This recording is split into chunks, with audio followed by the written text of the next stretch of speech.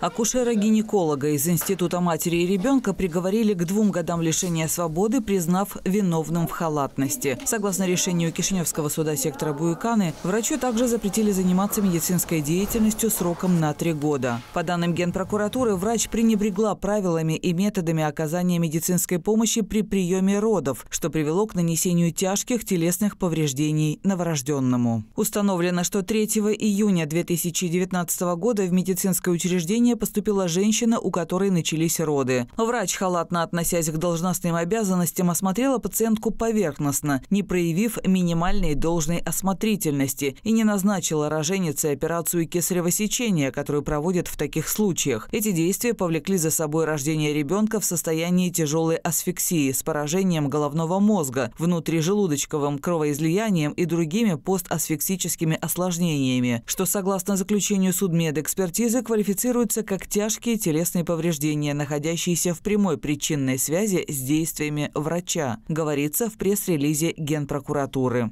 Подсудимая свою вину не признает. Суд обязал ее не покидать страну до вступления приговора в силу. Решение не является окончательным и может быть обжаловано в вышестоящей инстанции.